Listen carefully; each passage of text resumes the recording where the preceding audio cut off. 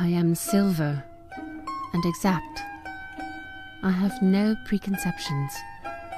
Whatever I see, I swallow immediately, just as it is, unmisted by love or dislike.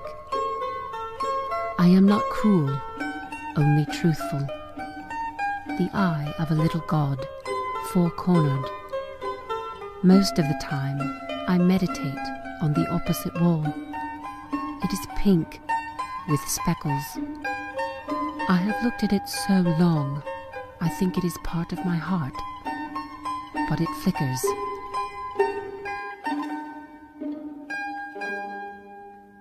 Faces and darkness separate us over and over.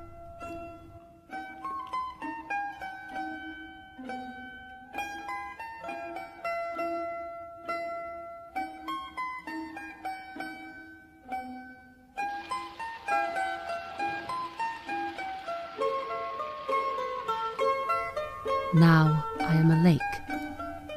A woman bends over me, searching my reaches for what she really is.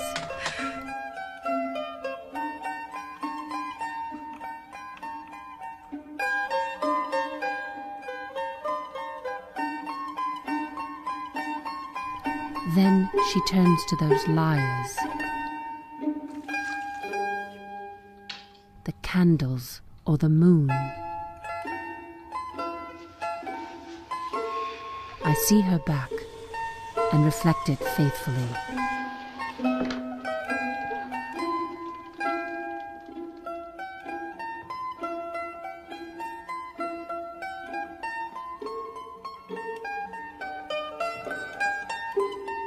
She rewards me with tears and an agitation of hands. I am important to her. She comes and goes. Each morning it is her face that replaces the darkness. In me, she has drowned a young girl, and in me, an old woman rises toward her, day after day, like a terrible fish.